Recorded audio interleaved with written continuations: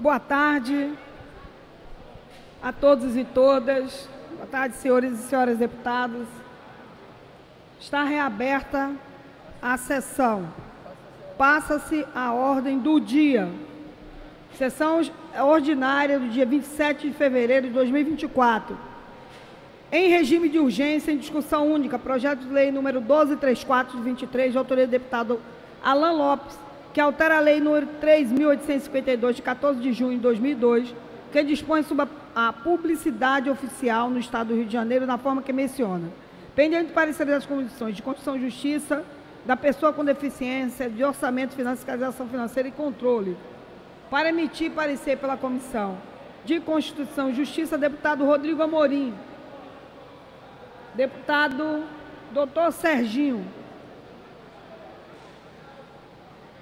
Deputado Fred Pacheco.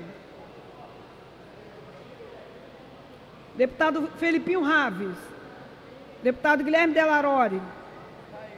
Deputado Fred Pacheco. Para emitir parecer pela Comissão de Constituição e Justiça.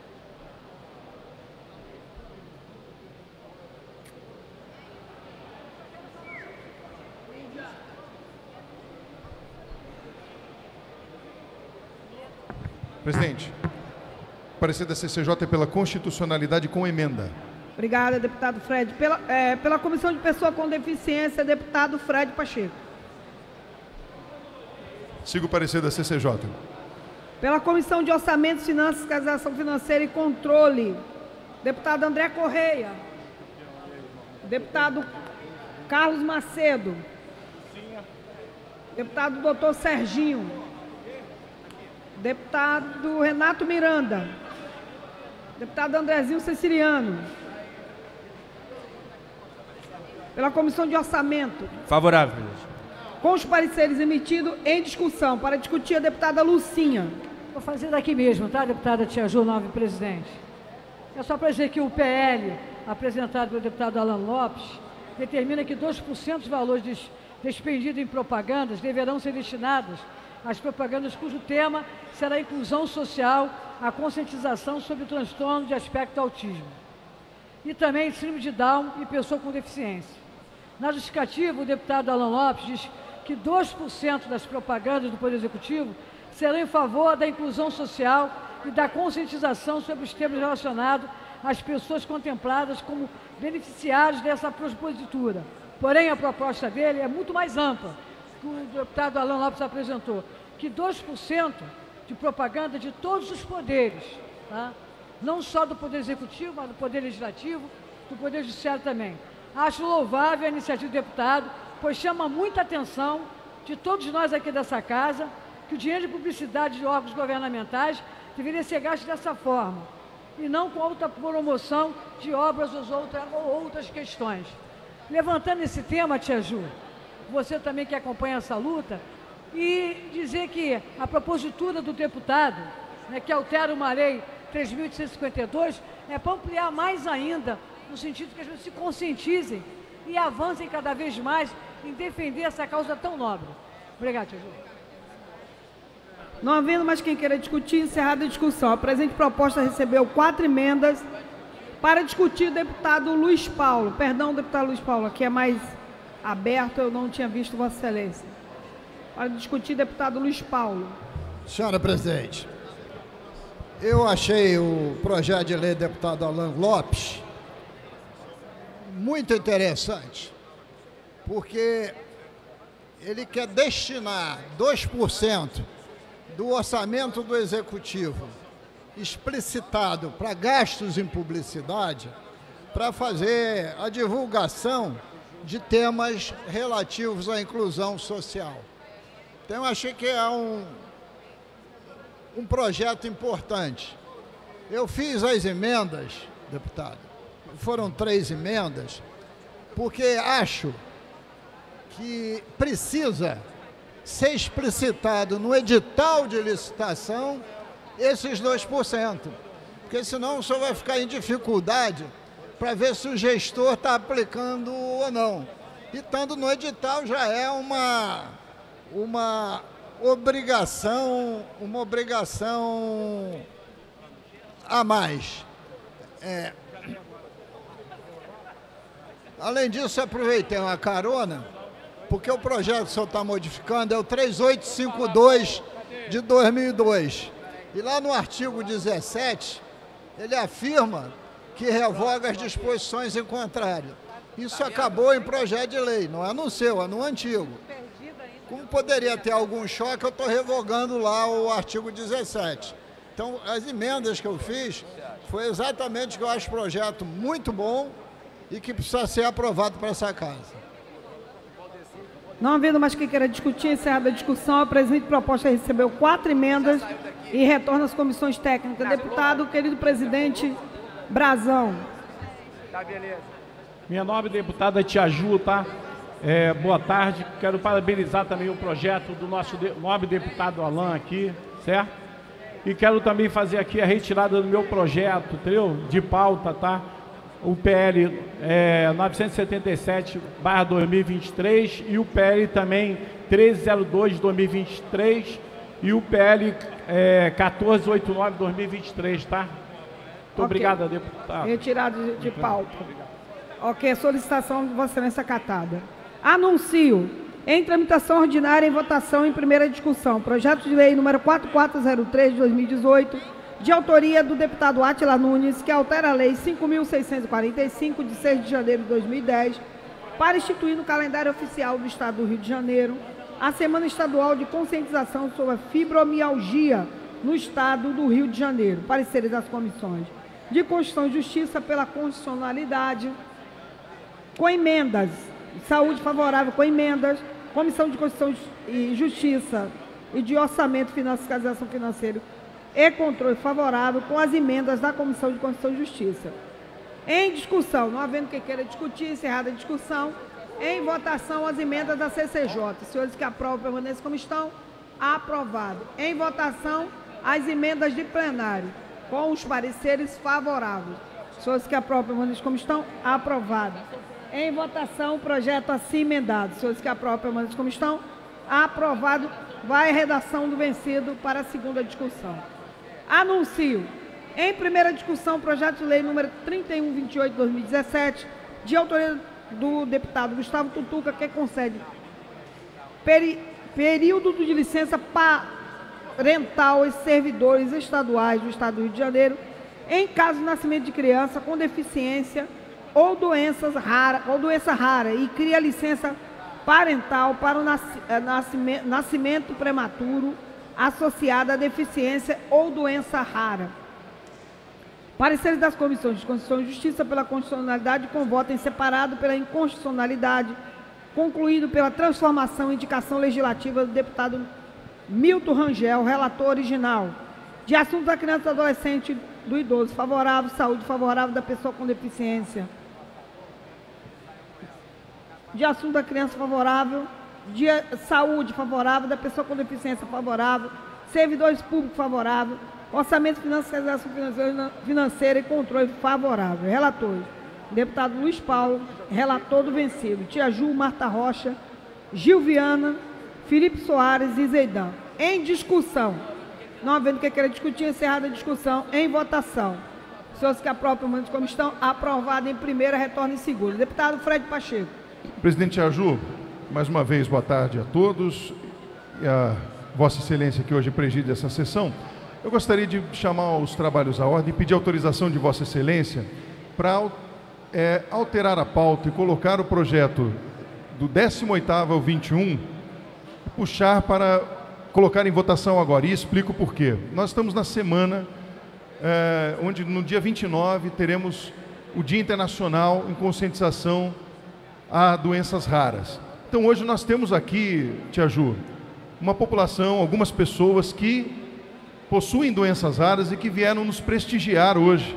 Então para que nós pudéssemos então ter a presença de todos, evitando que alguém saia do plenário, gostaria então de chamar para que pudéssemos votar os projetos, a inversão da pauta, melhor dizendo, como a inversão da, da pauta, pedindo então para que pudéssemos votar do 18º ao 21º, projetos de autoria do deputado Munir Neto, que é o presidente da Frente Parlamentar em Defesa e Conscientização das Doenças Raras.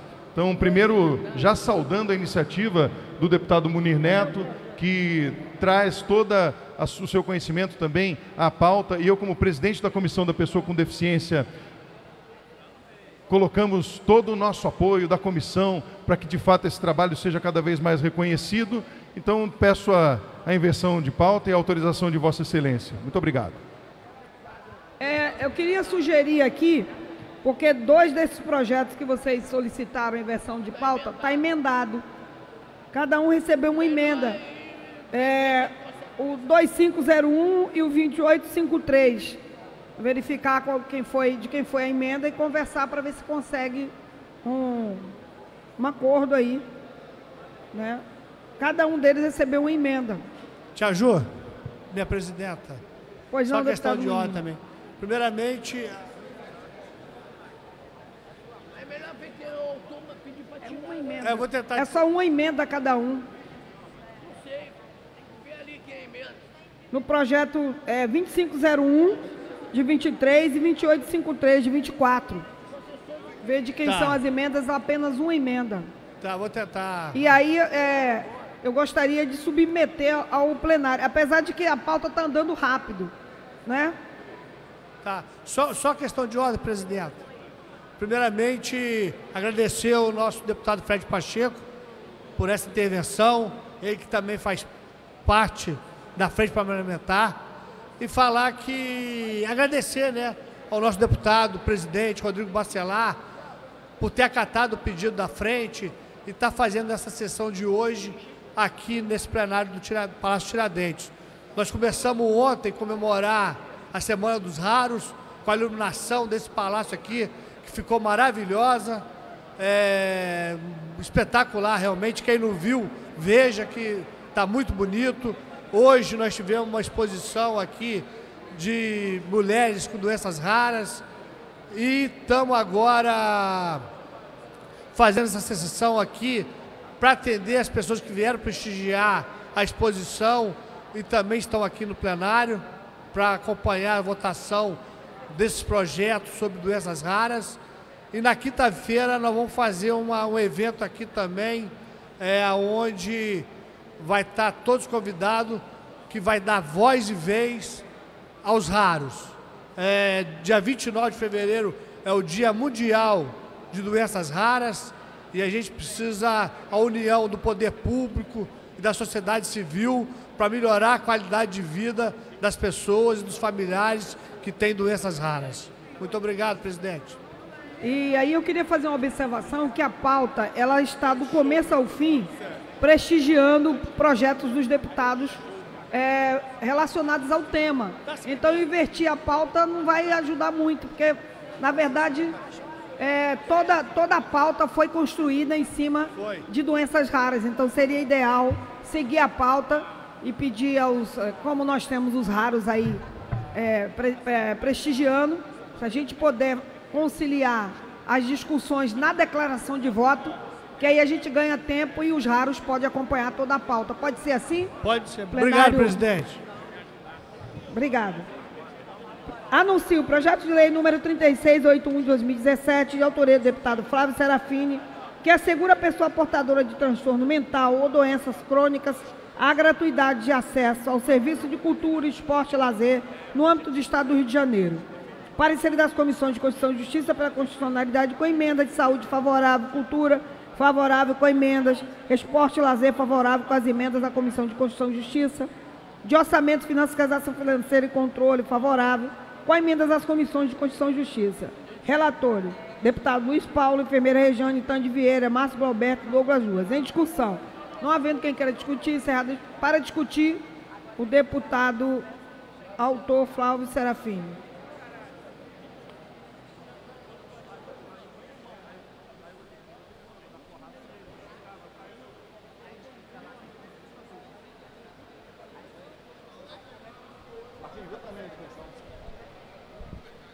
Boa tarde a todos e todas. Subo aqui à tribuna do Palácio Tiradentes para debater o nosso projeto 3681 de 2017, que assegura a pessoa portadora de transtorno mental ou doença crônica a gratuidade no acesso aos serviços de cultura, esporte e lazer no âmbito do Estado do Rio de Janeiro.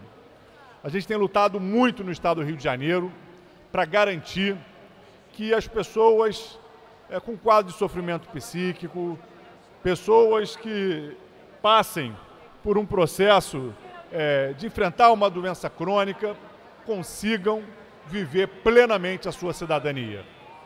E aí existem diferentes dimensões.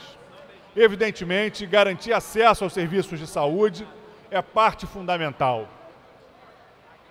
A gente não conseguir tratar uma doença crônica, a gente não conseguir tratar um transtorno psíquico, evidentemente agravam os quadros, debilitam a vida das pessoas, dificultam muitas vezes a sobrevivência física. Mas construir cidadania, construir vida plena, construir autonomia, vai além disso. E a gente precisa debater acessibilidade, empregabilidade e também acesso à cultura, acesso ao esporte e acesso ao lazer. Então esse projeto que está em tramitação, que está ainda em segunda, em primeira discussão, ainda vai vir em segunda, ele é uma iniciativa para abrir um debate. A gente tem avançado, por exemplo, na construção dos centros de convivência na saúde mental, para que as pessoas em tratamento na saúde mental possam produzir cultura, possam ter renda, possam ter acesso a diferentes serviços públicos, mas a gente quer ir além.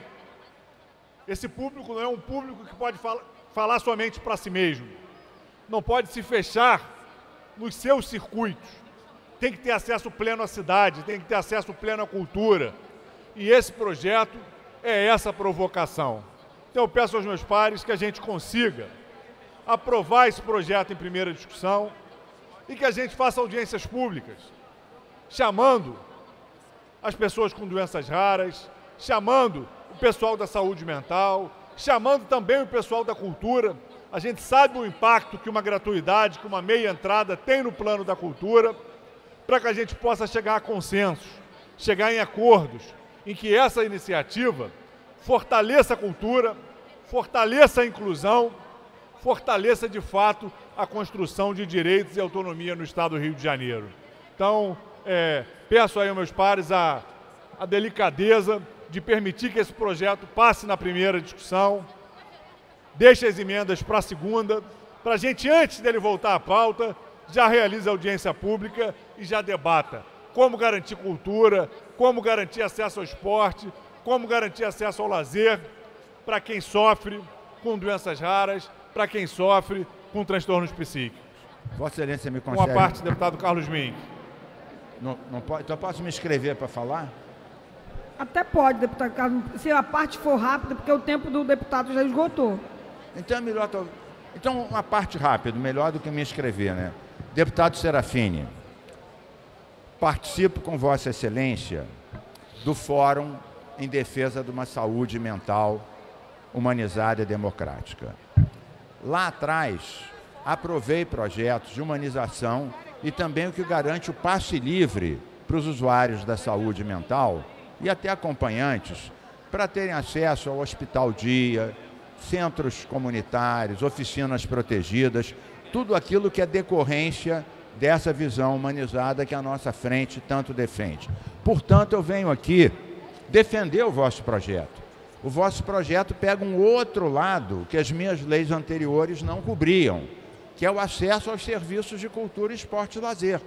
Para uma pessoa, Tia Ju, não ficar em, em, aprisionada 10 anos, recebendo choque, sem vida social, essa outra alternativa inclui apoio comunitário, oficina lá e acesso à cultura e esporte. Portanto, esse projeto do deputado Flávio, Flávio Serafini, se insere perfeitamente numa visão alternativa muito mais eficaz, muito mais barata, muito mais humana. Portanto, Vossa Excelência está de parabéns. Obrigado, deputado Carlos Mink. Vamos trabalhar para que esse projeto seja aprovado. Não havendo mais quem queira discutir, encerrada a discussão, a presente, a presente proposta recebeu duas emendas e retorna às comissões. Presidente, questão de ordem, rapidamente. É, eu observei que vários projetos aqui estão com uma, uma nomenclatura né, uma é, é, ultrapassada de pessoas portadoras de deficiência, é, portadoras de necessidades especiais. Então, para eu não emendar esse projeto para a gente corrigir a redação, eu queria saber se é possível fazer uma correção dessa redação para a gente não emendar. Se é possível fazer até pela súmula que, que existe. Porque, segundo, é, teve a PEC 25-2017 no Senado, que foi colocado, é o termo utilizado hoje, de pessoas com deficiência. Eu acho que isso é importante num, numa data como essa, num, num evento como esse, até para explicar que não existe pessoas portadoras de deficiência. E quando a gente fala isso, parece que a gente está portando uma bolsa que consegue deixar deficiência em casa ou fora de casa. E é uma condição social, como a gente vê, para além de uma condição física, intelectual, sensorial. Então, se é possível fazer essa mudança, sem que a gente emende, emende o projeto, para não tirar de pauta, que eu estou entendendo que os projetos aqui são super importantes. Deputada Élica, é possível sim, é, até mesmo porque a maioria dos projetos, se, se Vossa Excelência é, observar, eles, eles vêm com a data bem. Eles é. estavam tramitando bem Isso. anteriormente. Então, na próxima publicação, já, o Marquinho já está aqui atento, quando voltar na próxima, já fazer a correção dessas nomenclaturas, em vez de portador de deficiência, pessoa com deficiência corrigindo já as nomenclaturas dentro do que já foi aprovado nas legislações mais é, vigentes. Isso. Então, não, é, não vejo necessidade de emenda só redacional. Já fica o compromisso da casa de, na, na publicação, é, que eles virão na próxima discussão, ou na publicação diário, já vim com a correção, já fica aí a observação para a mesa. Não vejo necessidade de parar o projeto com uma emenda é só numa questão redacional. Ok, questão obrigada, de ordem, Tia Ju. Pois não, deputado Flávio. Deputado Tia Ju, justamente nesse sentido que a deputada Érica levanta, eu observei que as duas emendas apresentadas ao nosso projeto, emendas do deputado Luiz Paulo, fazem essa contribuição importante da correção da nomenclatura. Mas isso, inclusive, a CCJ, no seu parecer, já vinha corrigindo. Então, gostaria de pedir ao deputado Luiz Paulo se ele poderia retirar eh, essas emendas para o projeto poder ser aprovado em primeira discussão. Evidente que sim, senhora presidente. E a senhora tem razão, são projetos antigos que estão com a nomenclatura antiga, portadora de transtorno, portadora de deficiência, e isso mudou. Então, se vai haver as correções, não precisa ter a emenda. Estou retirando as emendas. Sendo assim, a presidência chama os trabalhos à ordem, já com compromisso na publicação é, da segunda discussão, que já venha com as correções já sejam publicados, e Excelência ficarem atentos, já com as nomenclaturas corretas. Assim sendo, os projetos vão tramitar sem precisar receber emenda. A presidência chama os trabalhos à ordem coloca em votação o projeto 3681 de 2017, as emendas da CCJ. Os senhores que aprovam permaneçam como estão. Aprovado. Em votação, as emendas da Comissão de Cultura. Os senhores que aprovam permaneçam como estão. Aprovado. Em votação, o projeto assim emendado. Senhores que aprovam, permaneçam como estão. Aprovado. Vai a redação do vencido para a segunda discussão. Pela Deputado Átila. Senhora presidente, eu queria que a senhora me ajudasse. Aqui eu não consigo, o plenário realmente, não, não consigo ouvir o que a senhora está falando. Aliás, não consigo ouvir o que nenhum colega meu está falando. E teve a deputada Dani Monteiro, ela ela também está à procura, né, Dani? Cadê a Dani? Alguém disse que tem muitos deputados com saudade desse plenário a ponto das a gente abandonar o Banerj e vir para cá.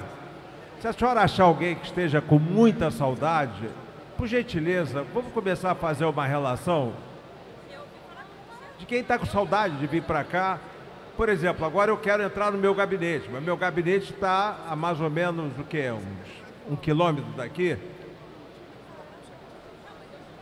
Então, quem está morrendo de saudades daqui, uma coisa é ser saudosista de podemos ainda fazer a entrega de medalhas, Isso, etc. as solenes. Agora, realizar sessões aqui, depois de gastar milhões naquele prédio, é uma loucura isso daí.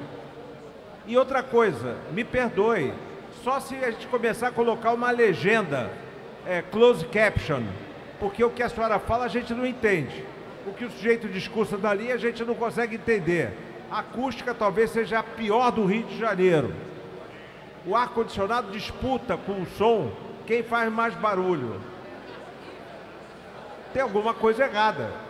E as pessoas conversam e a acústica faz subir o som. Enfim. E a senhora, além, a senhora, inclusive, é da mesa diretora, mas deve ter uma razão muito forte, que eu não sei qual é, de nós... Hoje, eu acho que foi um pedido especial do deputado Munir, em Ah. homenagem às pessoas com doenças tudo raras. Bem, tudo bem. E aí trouxe ele- ele a sessão para cá. Sim, mas ele poderia fazer a homenagem ah, às famílias dos pacientes de doenças raras e necessariamente a gente teria realizado a sessão lá. Mas isso é uma loucura essa logística. E olha, um dos mais saudosos deve ser o deputado Luiz Paulo. Luiz Paulo, não fica triste não, você discursou ali, eu não entendi patavina do que você falou, porque essa acústica não permite. Você está conseguindo me ouvir, não? Senhora presidente, como eu sabia que a sessão ia ser aqui hoje, eu botei um aparelho auditivo para resolver o problema. Botei um aparelho auditivo. É a única forma. Mas, Mas eu entendo que isso é só na excepcionalidade. Excepcionalidade, exatamente. Hoje foi em homenagem às pessoas com Mas doenças não é uma raras. excepcionalidade. Não é uma excepcionalidade. Isso é uma sessão normal. E acho que o deputado Munir Neto poderia, eu acho que deve, até com muita justiça, e ele foi muito feliz nessa, nesse, nessa luta das doenças raras, eu acho que ele merecia-se fazer uma grande solenidade com a sanção dos projetos dele aqui numa grande sessão solene de doenças raras. Mas não necessariamente a nossa sessão ser aqui. Muito obrigado, senhor presidente. Eu defendo o uso desse, desse espaço democrático aqui para sessões solenes. As solenes eu acho que merece muito. Aproveitando a excepcionalidade, eu vou anunciar aqui a, a nova mamãe do ano, que é a deputada Renata, que está gravidíssima, está prestes a, a dar luz aí. E como a criança é prioridade absoluta, inclusive é desejo absoluto, nosso é desejo pleno e absoluto que um dia a criança no nosso país se torne absolutamente absoluta e que tenha as políticas públicas absolutamente direcionadas para ela. A gente faz homenagem a esse novo bebê que virá, torcendo para que o absolutismo do termo colocado no Estatuto da Criança se faça de fato presente na vida das nossas crianças. Parabéns à mamãe Renata aí e que seja bem-vindo esse baby. Muito obrigada, nossa presidenta, deputada Tia Ju. Eu não tenho dúvida da emoção que é ter sido anunciada aqui nessa casa, né, nesse retorno também, depois de tanta. é, dos recessos né, que nós tivemos, mas nessa casa de leis, essa casa que é uma casa histórica, hoje o Museu da, da Democracia, ser anunciada por Vossa Excelência, que estou gerando uma nova vida. Hoje aqui batem dois corações. E isso não é qualquer coisa. Para nós mulheres que temos que ter os nossos desejos respeitados, as nossas vontades respeitadas e o nosso corpo é o nosso templo também. Então, o meu corpo hoje é um templo de, um, de, de uma construção de uma vida que está por vir e que a gente espera que venha com muita saúde, com muito amor, que receba e que esse mundo receba essa cria é, também com mais leveza, com mais delicadeza, afeto, e não só o afeto do abraçar e do beijar, mas se afetar, afetar-se por uma criança, afetar-se pela possibilidade de uma nova vida. Então, eu estou muito feliz, Chaju, e agradeço a cada parlamentar, cada deputada e deputado que vieram me parabenizar. Eu tenho certeza que essa é uma contribuição que a gente dá para o mundo também, né? Depois de tantas, tantos sofrimentos, né? A gente teve Covid-19, a gente está com a Covid voltando, é dengue, a gente sabe que as nossas mulheres gestantes, diante da Covid, que pode, enfim, é, ter feto anencéfalo, diante da dengue, que também é um, um- um fator de risco para as mulheres gestantes. O que a gente espera é que essas mulheres tenham acesso às vacinas, tenham acesso à vida também em saúde plena, porque é disso que a gente precisa. Então, muito obrigada. deputada, nossa presidenta nessa sessão, Tia Ju, e que venha mais uma cria, uma cria da maré, uma cria preta, negra, que possa construir também novos rumos para esse mundo. Muito obrigada, Tia Ju. E usa repelente, hein? Por favor. Anuncio projeto de lei número 3715 de 17, autoria do deputado Atlas, que altera a lei 5.645 de 6 de janeiro de 2010, para instituir no calendário oficial do Estado do Rio de Janeiro o dia do hemofílico. Pareceres das comissões de Constituição e Justiça pela Judicidade, Saúde favorável, Orçamento, Finanças, Fiscalização Financeira e Controle favorável. Relator, deputado Gustavo Tutuca, Marta Rocha e Rodrigo Amorim. Em discussão, não havendo quem queira discutir, encerrada a discussão, em votação. Senhores que aprovam, mas como estão, aprovado em primeira, retorna em segunda. Anuncio o projeto de lei número 1732 de 2019, de autoria do deputado Márcio Canela, que altera a lei 6.169, de 2 de março de 2012, para dispor sobre a prioridade na implantação dos centros de reabilitação integral para deficientes mentais e autistas no Estado do Rio de Janeiro e da outras providências. Pareceres das comissões de Constituição e Justiça pela constitucionalidade da pessoa com deficiência favorável, de assuntos municipais de desenvolvimento regional favorável, orçamento, finanças, fiscalização financeira e controle favorável. Relator, deputado Rosenberg Reis, Marcelo Cabeleireiro, Renato Machado e Renato Miranda. Em discussão, não havendo quem queira discutir, encerrada a discussão. Em votação ou melhor, a presente proposta recebeu uma emenda e retorna às comissões.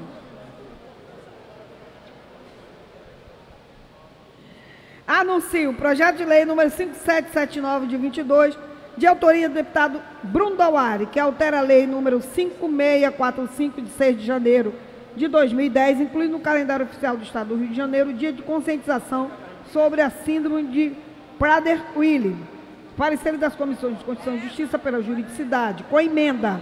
Saúde favorável com a emenda da Comissão de Constituição e Saúde. Relator, deputado Vinícius Cosolino Canela. Em discussão, não havendo quem queira discutir. Em votação, a emenda da CCJ. Senhores que aprovam permaneçam como estão, aprovado. Em votação, o projeto assim emendado. Senhores que aprovam permaneçam como estão, aprovado. Vai, volta em segunda para a redação do vencido. Anuncio projeto de lei número 229 de 23, de autoria do deputado Bernardo Rossi, que dispõe sobre a formulação e implantação de programa e políticas públicas destinadas às campanhas permanentes de prevenção, diagnóstico e tratamento da moléstia toxoplasmose no âmbito do Estado do Rio de Janeiro. Pareceres das comissões de Constituição e Justiça pela constitucionalidade com a emenda saúde favorável com a emenda da Comissão de Constituição e Justiça, de defesa da proteção dos animais favorável, com a emenda da Comissão de Constituição e Justiça de Orçamento, Finanças, Fiscalização Financeira e Controle favorável, com a emenda da Comissão de Constituição e Justiça. Relatores, deputado Vinícius Cosolino, doutor Deodalto, Lucinha e Vinícius Cosolino. Em discussão, não havendo que queira discutir, encerrada a discussão, o presente proposta recebeu uma emenda e retorna às comissões. Anuncio o projeto de lei número 460 de 23, de autoria do deputado Daniel Liberon, que institui a campanha de conscientização e incentivo ao diagnóstico e tratamento do transtorno de processo sensorial TPS no âmbito do Estado do Rio de Janeiro. Pareceres das comissões de Constituição e Justiça pela constitucionalidade com emenda. Saúde favorável com a emenda da Comissão de Constituição e Justiça, assunto da criança do, do idoso, favorável com a emenda da Comissão de Constituição e Justiça, do Orçamento, Finanças, Fiscalização Financeira e Controle favorável. Relatores, Deputado Fred Pacheco, Jair Bittencourt, Tia Ju e Carlos Macedo. Em discussão, não havendo quem queira discutir, encerrado a discussão. Em votação, a emenda da CCJ. Senhores que aprovam, permaneçam como estão, aprovados. Em votação, o projeto assim emendado. Senhores que aprovam, permaneçam como estão, aprovado. Volta à redação do vencido para a segunda discussão. Anuncio o projeto de lei número 682 de 23, de autoria do deputado Brazão, que institui a campanha permanente de orientação com ações preventivas, conscientização da depressão, transtorno e ansiedade, do síndrome do pânico. Pareceres das comissões de Constituição e Justiça pela constitucionalidade com emenda. Saúde favorável com a emenda da Comissão de Constituição e Justiça. Orçamento, Finanças, Fiscalização Financeira e Controle favorável com a emenda da Comissão de Constituição e Justiça. Relator, deputado Felipe Raves, Márcio Canela e Vinícius Cosolino. Em discussão, não havendo quem queira discutir, Encerrada a discussão, a presente proposta recebeu duas emendas e retorna às comissões. Anuncio, incluído na ordem do dia, de acordo com o inciso 3 do artigo 47 do Regimento Interno, em tramitação ordinária, em votação em primeira discussão, projeto de lei número 3126 de 2020, de autoria do deputado Daniel Liberon, que dispõe sobre a hemodiálise em trânsito para pacientes portadores de doenças renais crônicas e outras providências. Pareceres das comissões de Constituição e Justiça pela constitucionalidade com emendas concluindo com substitutivo de saúde favorável pelo substitutivo da Comissão de Constituição e Justiça, de Orçamento, Finanças, Fiscalização Financeira e Controle favorável. Relator, deputado Rodrigo Amorim, Marta Rocha e Carlos Macedo. Pendente de pareceres das comissões de Constituição e Justiça, Saúde, Orçamento, Finanças, Fiscalização Financeira e Controle, as emendas de plenário. Para emitir parecer pela Comissão de Constituição e Justiça, deputado Rodrigo Amorim. Deputado doutor Serginho, deputado Fred Pacheco.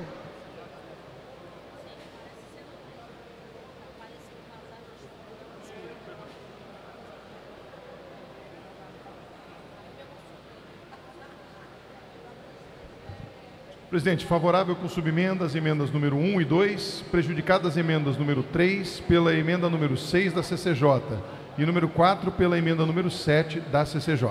Obrigado. Pela Comissão de Saúde, deputado Tande Vieira. Acompanha a CCJ, presidente. Pela Comissão de Orçamentos, Finanças, Fiscalização Financeira e Controle, deputado André Correia. Deputado Carlos Macedo. Doutor Serginho. Renato Miranda. Andrezinho Siciliano. Deputado Vinícius Cosolino. Deputado Cláudio Caiado. Ah, deputado Andrezinho Siciliano.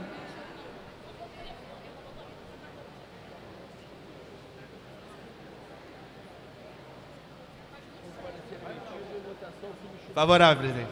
Com os pareceres emitidos, em votação o substitutivo da CCJ.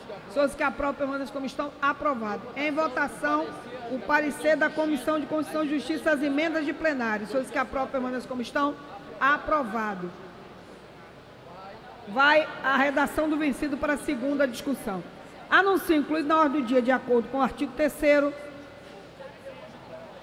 com o artigo com o inciso 3 do artigo 47 do Regimento Interno, em tramitação ordinária, em votação, em primeira discussão.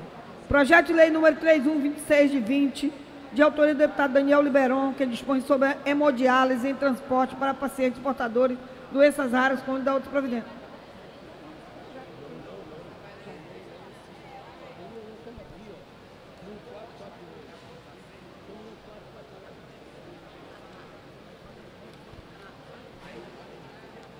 Senhora Presidente, solicito de Vossa Excelência para colocar esse em trânsito entre, entre, entre vírgulas, porque não é hemodiálise em trânsito, é hemodiálise dos pacientes que estão em trânsito, porque não dá para fazer hemodiálise no trânsito, tem precisa pelo menos botar entre, entre vírgulas, por favor. É verdade, hemodiálise, vírgula, de pacientes em trânsito. É a redação. Anuncio o projeto de lei número 1448, de 23, de autoria dos deputados Brazão, Rodrigo Bacelar, Márcio Canela, Marta Rocha, Renato Machado, Munir Neto, Fred Pacheco, Jorge Felipe Neto, Índia Armelau, que cria diretrizes para inclusão de pessoas com transtorno de espectro autista, TEA, em pontos turísticos hotelarias similares no âmbito do Estado do Rio de Janeiro. Parecer das comissões de Constituição e Justiça pela constitucionalidade com emendas, concluindo por substitutivo da pessoa com deficiência favorável, de turismo favorável, de cultura favorável, de economia, indústria e comércio favorável e de orçamento, finanças, fiscalização financeira e controle favorável. Novo parecer as emendas de plenário da Comissão de Constituição e Justiça com substitutivo as emendas número 2. Relatores, deputado Luiz Paulo, Élica Takimoto, Renata Souza, Luiz Paulo, Élica Takimoto, Luiz Paulo Rodrigo Amorim. pendente de pareceres das comissões da pessoa com deficiência, de turismo, cultura, economia, indústria e comércio, orçamento, finanças, fiscalização financeira e controle de emenda de plenário. Para emitir parecer é pela comissão da pessoa com deficiência, deputado Fred Pacheco.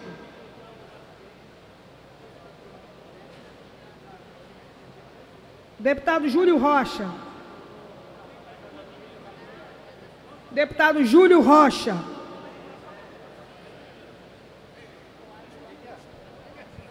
Favorável. Obrigada. Pela Comissão de Turismo, deputado Júlio Rocha. Favorável. Pela Comissão de Cultura, deputada Verônica Lima. Parecer favorável, presidente. Obrigada. Pela Comissão de Economia e dos Comércios, deputado Anderson Moraes. Deputada Célia Jordão. Favorável acompanhando o parecer da CCJ, presidente. Obrigada, deputada Célia. Pela Comissão de Orçamento, Fiscalização Financeira e Controle, deputado André Correia. Deputado Carlos Macedo. Deputado Andrezinho Siciliano. Favorável. Com os pareceres emitidos, em discussão, não havendo quem queira discutir, encerrada a discussão, em votação. Senhores que aprovam a de comissão, a... em votação as emendas da CCJ. Senhores que aprovam de comissão, aprovado. Em votação, o parecer da Comissão de Comissão de Justiça, as emendas de plenário. Senhores que aprovam maneira de comissão, aprovado. Em votação, o projeto assim emendado. Todos que aprovam permanência como estão, aprovado. Vai a redação do vencido para a segunda discussão.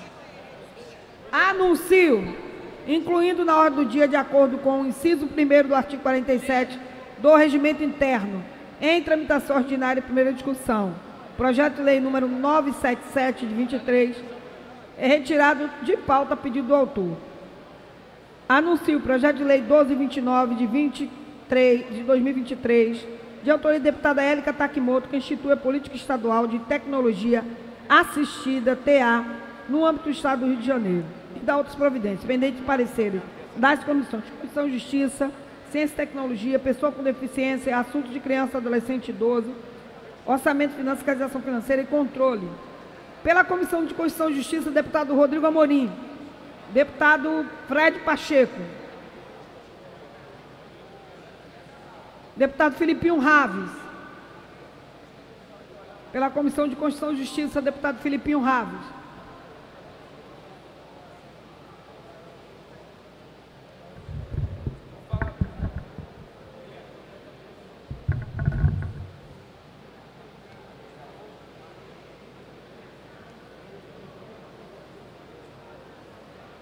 Presidente, remeter a CCJ para averiguar a anexação ao projeto de lei número 1834/2020. 1229. Projeto 1229.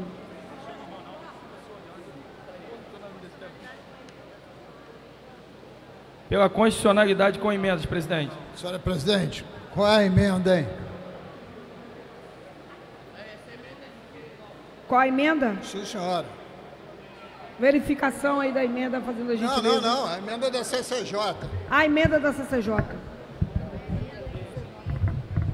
Deputado Filipinho Raves. Deputado Filipinho. Por favor, qual é a, a leitura emenda? da emenda da CCJ. Calma aí. Ele anunciou com emenda. Tem que ser com a emenda. Você nem está fazendo o projeto certo?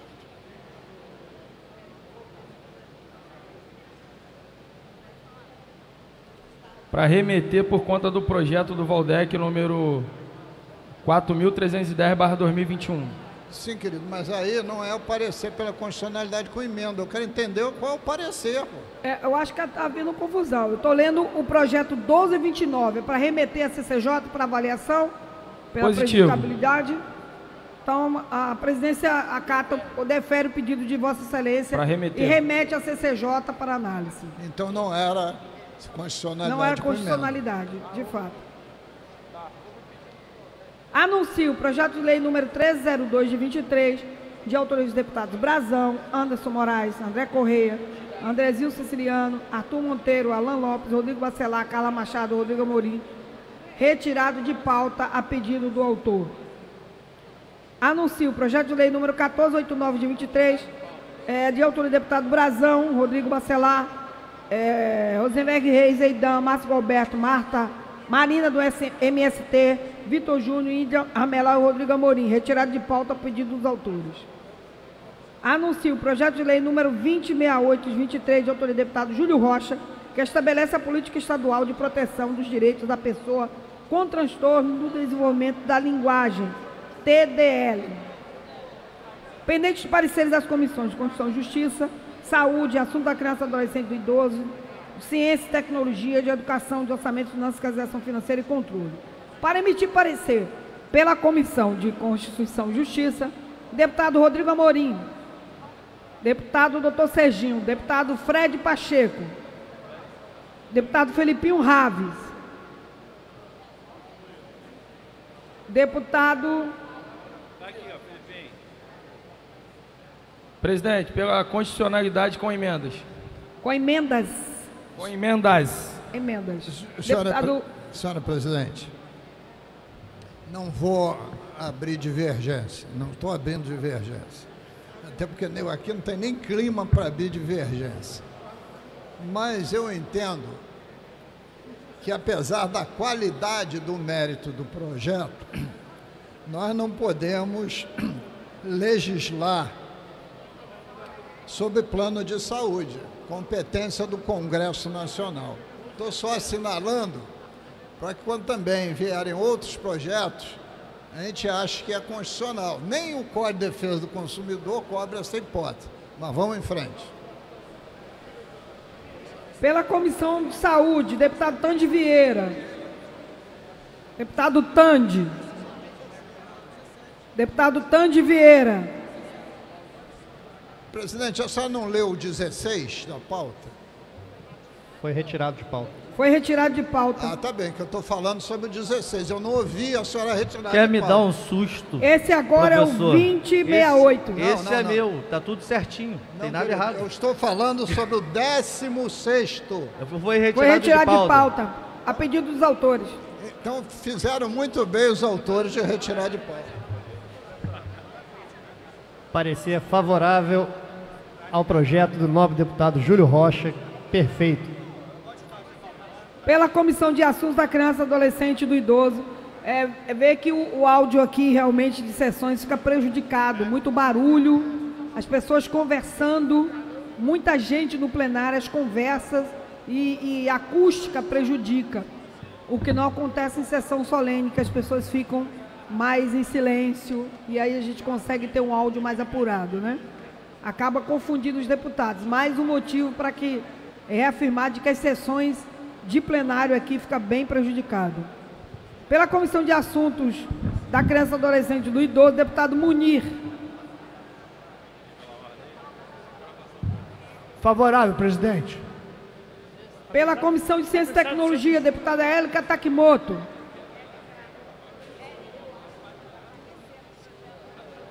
Deputada Élica. Favorável, presidente. Pela Comissão de Educação, deputado Alan Lopes. Deputado Alan Lopes. Deputado Vitor Júnior. Deputado Flávio Serafini.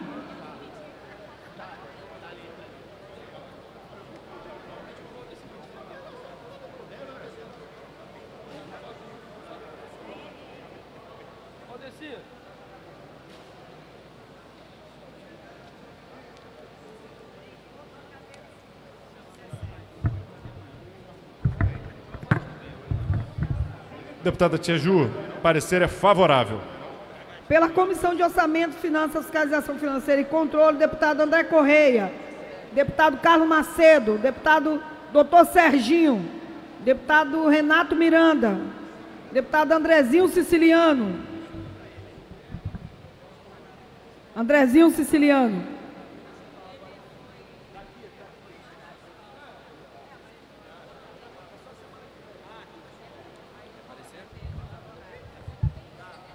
Favorável, presidente. Com os pareceres emitidos, em discussão, não havendo quem queira discutir, encerrada a discussão, a presente proposta recebeu três emendas e retorna às comissões. Anuncio projeto de lei número 2117 de 23 de autoria do deputado Munir Neto, que altera a lei 5059 de 5 de julho de 2007, estabelece prioridade de tramitação dos processos e procedimento administrativo que figure como parte ou interveniente pessoa com idade igual ou superior a 60 anos e portadoras de necessidades especiais, ou seja, pessoas com necessidades especiais. Pendente de pareceres das comissões de Constituição e Justiça, Saúde e de Servidor Público. Pela Comissão de Constituição e Justiça, deputado Fred Pacheco. Deputado Filipinho Rasas. Presidente, pela constitucionalidade com emendas. Com emenda ou emendas? Emendas. Cinco emendas. Cinco emendas da Comissão de Constituição e Justiça. Pela Comissão de Saúde, deputado Tande. Deputado Tande Vieira. Deputado Tande Vieira. Tande Vieira, Ercut. Parecer favorável. Desculpa Pela é que a acústica realmente está muito ruim. a É muito não ruim. É, realmente não dá, porque o, o barulho é muita, tá muita gente conversando, muito difícil. Pela Comissão de Servidores Públicos, deputada Marta Rocha. Presidente, em primeiro lugar, elogiar a iniciativa do deputado Munir Neto, a questão da pessoa eh, com idade igual a 60 anos ou as pessoas com necessidades especiais devem ter, sim, prioridade no atendimento e na tramitação dos procedimentos administrativos, a exemplo da- do que já acontece na previsão dos procedimentos judiciais. Então, nosso parecer é favorável. Com os pareceres emitidos em discussão, não havendo que querer discutir. Presidente. Em votação as emendas da CCJ. Para discutir. Que aprovam permaneçam como estão. Aprovado para declaração de voto. O autor vai à redação do vencido para a segunda discussão. Deputado Munir Neto. Presidente, só para esclarecer, primeiro em relação a essa sessão feita hoje aqui, como já foi dito, foi uma solicitação da Frente Parlamentar, feita por mim ao presidente Bacelar. Ele prontamente atendeu, porque nós tivemos a abertura de uma exposição, é relativa à semana eh, de doenças raras. Dia 29 se comemora o Dia Mundial de Doenças Raras. E hoje nós temos convidados aqui com doenças raras e familiares. Por isso que a sessão hoje foi feita aqui e está marcada a sessão de amanhã para cá também. Sugiro até que a gente vote aqui, se a senhora colocar em pauta, e mude para o no nosso plenário lá. Eu acho que, não, que amanhã não é relativo a essa questão.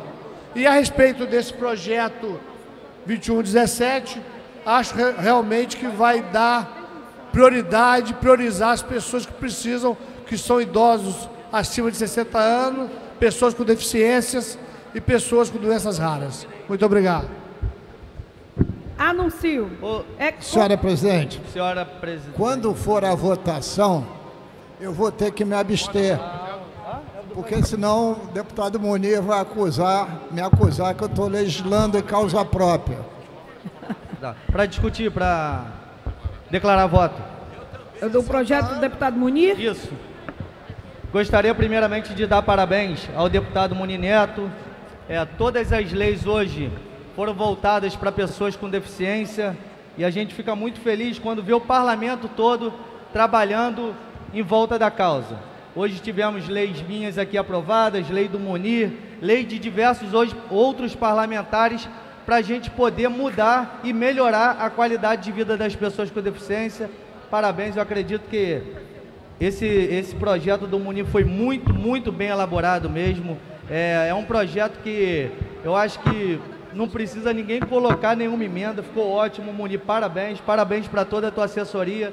E pode ter certeza que deixa a gente, como parlamentar que briga pela causa, cada dia mais feliz. É, para discutir, presidente. É seu projeto? Você não tem prioridade? Sobre o projeto. Pela ordem, presidente. Pela ordem. Com brevidade, deputado. Obrigado, presidente. Presidente, Maricá hoje a cidade de Maricá hoje acordou com a Operação Saluz, desencadeada pela Polícia Federal. Operação essa que visa apurar desvio de dinheiro público da saúde. É isso mesmo. Salientando que quem rouba dinheiro da saúde está roubando vidas.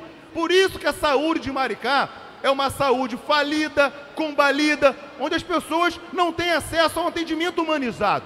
E hoje, 60 agentes da Polícia Federal adentraram a cidade de Maricá, 14 buscas, 14 mandados de busca e apreensão, inclusive medidas cautelares, expedidas pela Justiça Federal.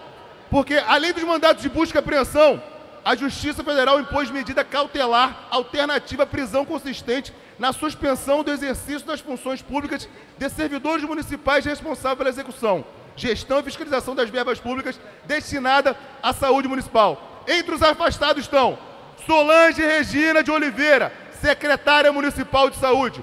A medida também afastou a recém-nomeada diretora do Che Guevara.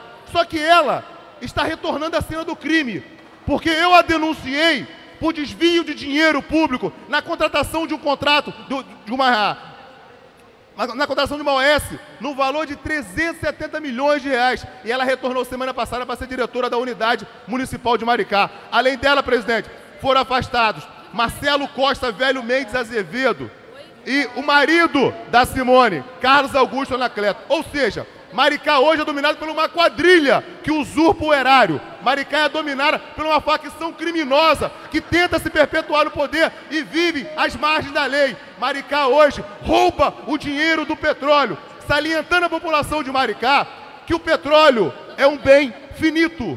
Uma hora vai acabar. Mas o que existe na cidade de Maricá sob domínio do prefeito Fabiano Horta, sob domínio daquela figura folclórica que se chama Washington Siqueira, vice-presidente nacional do PT, o Quaquá, Maricá está afundando na corrupção. E aqui, presidente, fica o meu repúdio. Meu repúdio, porque eu quero ver agora o PT e o deputado do PT defender Maricá. É indefensável o roubo descarado que acontece na cidade de Maricá. Muito obrigado, presidente. Presidenta, para discutir. Só, só só é, anunciar aqui o pedido de coautoria ao, ao deputado Muniz no projeto 2117. O deputado Júlio é, manifestou interesse em ser coautor, mas aí eu preciso solicitar a Vossa Excelência se concede a coautoria ou não. É, deputado Júlio, é, coautoria concedida no projeto 2117. Eu também, deputado Muniz, coautoria. Deputada, primeiro deputada, Dan, ah, deputada Marta Rocha também quer ser coautora, deputada Lucinha. A deputada Dani solicitou, logo em seguida, deputado Rangel. Ao deputado, deputado Mink também, deputada Verônica, deputada Renata, deputado Flávio Serafim, Élica Takimoto, Marina do MST e deputada Célia Jordão. Também Marquinho, todos coautores. Marquinho? Marquinho, todos coautores aí. Presidente, já entrei num acordo aqui com o Dani eu só queria registrar a presença aqui do vereador de Resende, Renan Marassi, que está prestigiando a gente aqui em nossa casa. E que o vereador Renan seja muito bem-vindo aqui a essa Assembleia Legislativa. Seja bem-vindo, Renan. Deputada Dani Monteiro.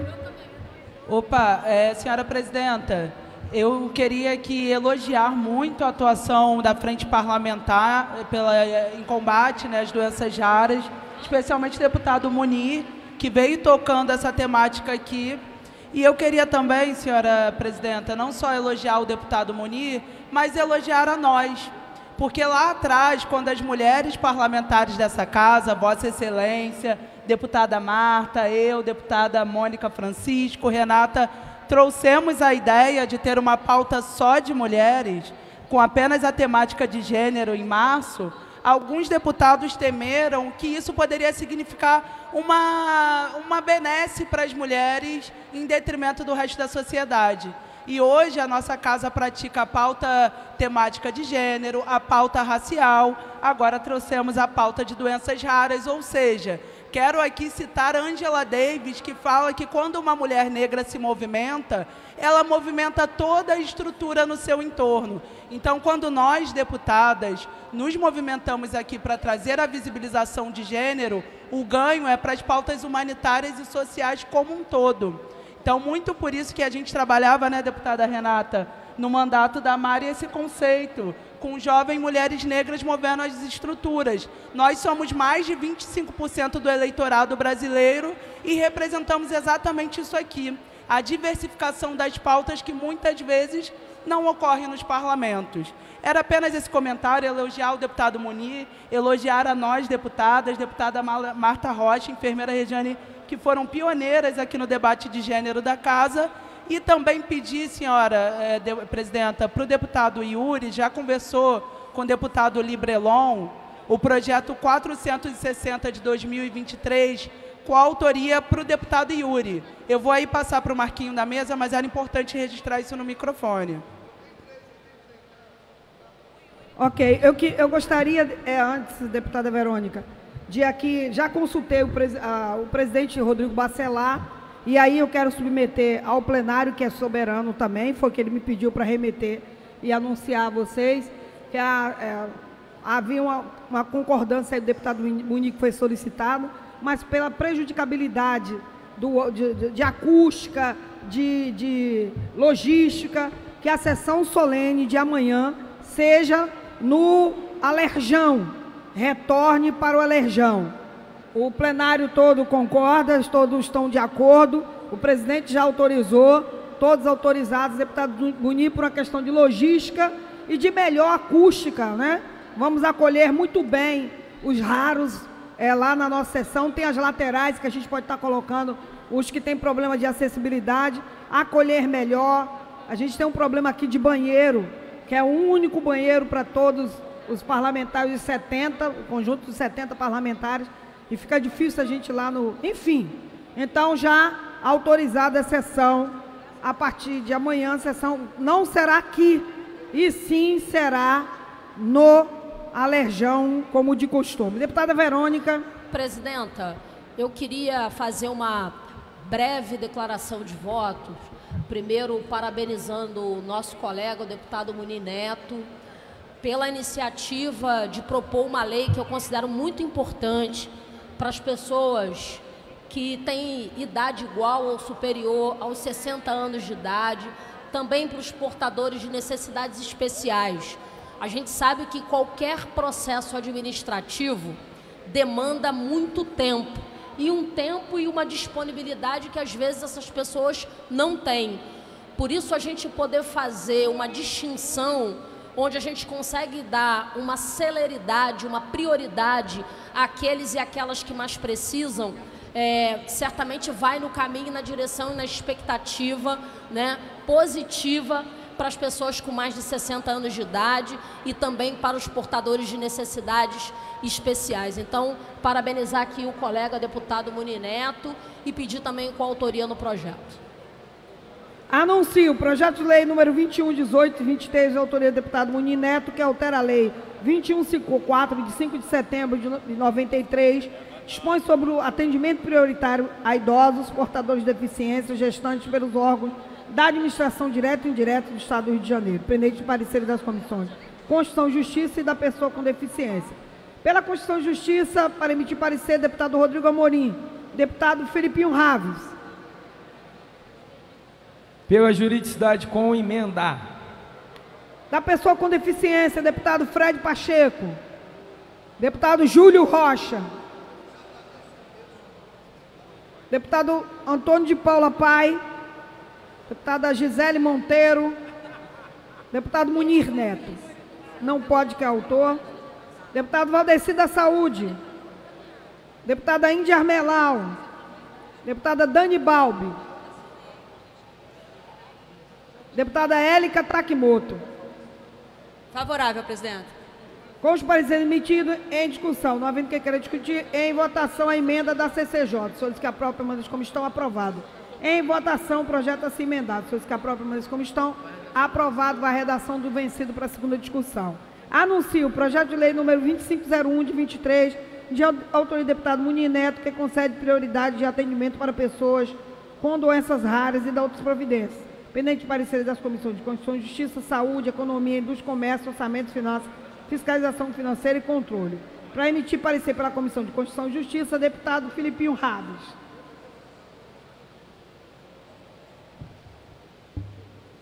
Pela constitucionalidade com emendas. Pela Comissão de Saúde, deputado Tandy Vieira. Deputado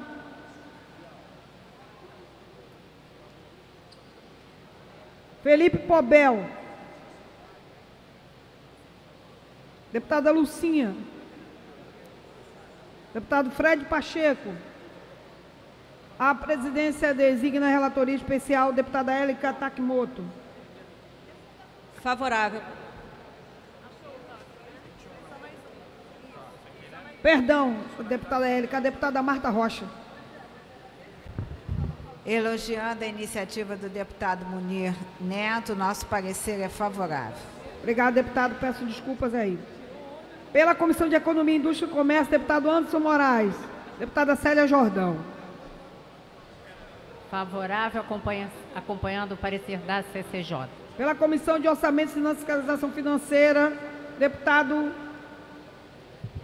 Andrezinho Siciliano. Vinícius Cozolino. Cláudio Caiado. Favorável, Ah, presidente. Perdão, Pela deputado. Comissão de Orçamento. Deputado Andrezinho Siciliano. Com os pareceres emitidos em, em discussão. Deputada Tia Ju, eu quero trazer aqui a fala do deputado Vitor Júnior, que apresentou uma emenda. E ele, então, sabedor da importância desse projeto, está retirando a emenda e houve por parte do deputado Munir Neto o convite para que o deputado Vitor Júnior assinasse como coautor. Com a retirada da emenda, em discussão. Não havendo que queira discutir, encerra a discussão e votação as emendas da CCJ. Pela ordem, presidente. Só terminar aqui de. Senhores que aprovam, permaneçam como estão. Aprovado. Em votação, o projeto assim emendado. Senhores que aprovam, permaneçam como estão. Aprovada. Vai a redação do vencido, já pedindo coautoria, deputado Munir, desse projeto. É, se Vossa Excelência assim conceder. Concedido. Deputada Élica.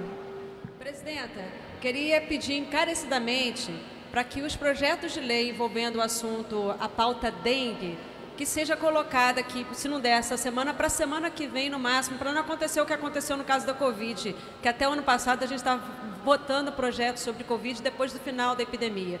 A gente está num caso onde o estado do Rio de Janeiro vive uma epidemia de dengue. Eu acabei de assinar um projeto em regime de urgência, né, para ser colocado aqui no plenário, mas para que a gente não assine vários projetos envolvendo dengue em regime de urgência, para que seja colocado, dado que a gente está na epidemia, se, se for possível, ou numa sessão extraordinária, ou então a gente distribuir os projetos para a semana que vem. Sua, sua solicitação será encaminhada à presidência. A solicitação de que seja posto em pauta esses projetos com urgência por conta da dengue. Isso, obrigada, presidente. Anuncio o projeto de lei número 2853 de- de 2024, de autoria do deputado Munir Neto, que é institui no âmbito do Estado do Rio de Janeiro o Estatuto da Pessoa com Deficiência, com doença crônica complexa e rara, pendente de parecer das comissões de Constituição e Justiça, Saúde, Ciência, Tecnologia, Educação, eh, de Transporte, Orçamento, Fiscalização Financeira e Controle. Para emitir parecer pela Constituição e Justiça, deputado Filipinho Raves. Pela constitucionalidade com emendas.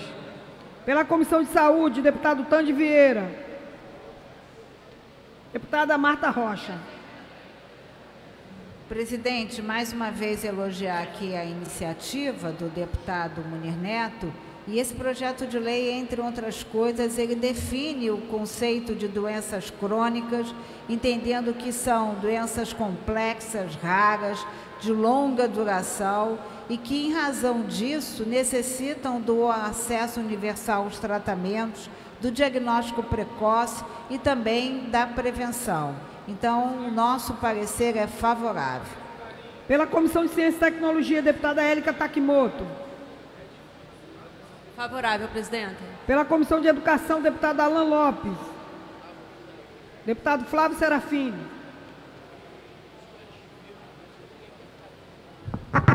Favorável. Pela Comissão de Transporte, deputado Dionísio Lins. Deputado Rosenberg Reis. Deputado doutor Deodalto. Deputado doutor Deodalto. Acompanho o relator, presidente. Pela Comissão de Orçamento, Finanças, Fiscalização Financeira e Controle, deputado André Correia. Carlos Macedo, deputado doutor Serginho. Deputado Renato Miranda. Deputado Andrezinho Siciliano. Favorável. Com os pareceres emitidos em discussão, não havendo o que querer discutir. Presidente. Deputada Marta Rocha. É, mais uma vez, informar que o deputado Vitor Júnior fez contato conosco, pediu que fosse retirada a sua emenda e o deputado Munir Neto apresentou, então, a oferta da coautoria. E aí eu também gostaria de indagar o deputado Munir Neto se eu posso participar também, que me achei muito importante o seu projeto. Deputado O projeto aprova agora, Munir, ou volta em segunda? Volta em, se- volta em segunda. Volta em segunda. Eu vou sugerir a Vossa Excelência, também para pedir coautoria, e em segunda, trocar a palavra estatuto por uma outra terminologia. Porque estatuto dá o sentido proteção e não de direito de independência. Só para o senhor pensar nesse tema. Mas já estou pedindo também com autoria, porque nesse caso específico eu não estou legislando em causa própria. Também já me incluo na coautoria dessa proposta maravilhosa. É, não havendo que queira discutir, encerrada a discussão e votação, as emendas da CCJ. Senhores que aprovam, permaneçam como estão. Aprovado. Em, em votação, o projeto assim emendado. Senhores que aprovam, permaneçam como estão. Aprovado. Vai a redação do vencido para segunda discussão. Presidente. Deputado Munir. Eu queria primeiramente agradecer, né, todos os deputados e deputadas aqui que nos apoiaram nesses quatro projetos que nós colocamos, principalmente sobre o assunto de pessoas com doenças raras. É, hoje é um dia muito especial, que é- estamos trabalhando a semana e dia 29 a gente comemora o Dia Mundial. Esse último projeto, que é a respeito do estatuto, é, é importante para a gente fazer a prevenção e o trabalho sobre as pessoas e seus familiares que têm doenças raras. O estado do Rio de Janeiro tem um milhão de pessoas com doenças raras. A cada duas mil pessoas que nascem, uma tem doença rara. E o pior, que 30% dessas pessoas vêm a óbito até 5 anos de idade por falta de diagnóstico. Então nós precisamos realmente fazer o diagnóstico precoce para começar o tratamento rápido, para melhorar a qualidade de vida das pessoas com doenças raras. Então eu queria aqui mais uma vez agradecer a todos os deputados que apoiaram esses quatro projetos, abrir coautoria em todos que ainda querem pedir coautoria nesse projeto e parabenizar toda a casa por essa sessão que foi feita hoje aqui. Muito obrigado. Eu já pedi coautoria em todos. É isso do aí. deputado Munir, deputado, é, na, coautoria Fred nesse tá projeto. Só- Deputado Fred, deputado Júlio Rocha, deputada Renata, deputado é, Carlos Mink, deputado Andrezinho Siciliano. É 18, Deputada 19, Renata. 20 e 21, tá, Marquinhos? Só para não Só- perder a conta. Isso. Só para também, é, mais uma vez, saudar a iniciativa do deputado Munir Neto, também pedir, gostaria de pedir com autoria nesses projetos mencionados pelo deputado Júlio Rocha, e mais uma vez dizer que é isso, nós estamos trabalhando pra, cada vez mais, enquanto comissão da pessoa com deficiência, que nós todos fazemos parte, inclusive, aqui está o Júlio, que é vice-presidente da comissão, eu presido a comissão, e hoje temos a alegria de ter estas pessoas cada vez mais atendidas por esta casa. Então, gostaria de ratificar também o pedido de autoria. Muito obrigado, presidente. Deputado Rangel, Milton Obrigado, Rangel, eh, deputado Rangel, Valdo Ceasa também, que é coautoria, Valdo Ceasa, e parabenizar essa casa pelas iniciativas. Desculpa, Valdecida Saúde, Valdecida Saúde. O Valdo Ceasa também pediu coautoria, é por isso que eu, eu confundi. O deputado Filipinho Raves também, aí eu estava olhando por Valdo Saúde, e com autoria do deputado doutor Deodalto, deputado Wellington José e Cláudio Caiado também. É, já aproveito para solicitar a presença aqui do deputado Val, é, Valdo Ceasa, que eu vou ter um compromisso agora, Vossa Excelência puder assumir aqui a presidência, agradeço a Vossa Excelência, eu vou ter que acompanhar aqui um compromisso. E agradecer a essa casa pela iniciativa, parabenizar o deputado Muni, a frente parlamentar, aos familiares e as pessoas raras que estiveram aqui nesse, nesse plenário hoje. Nada mais havendo a tratar na ordem do dia, passa ao expediente final, já convidando o deputado Valdo Ceasa para assumir a presidência. É, anunciando o primeiro orador, o nobre Luiz, deputado Luiz Paulo Correia da Rocha. Deputado Júlio. Gostaria só de anotar. O Excelência desligou o microfone.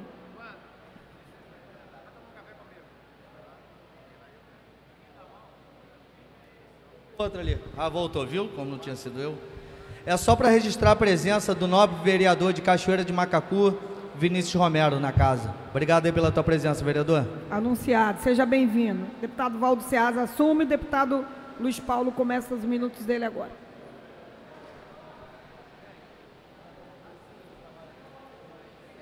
De nada, tio. Não, tá ótimo.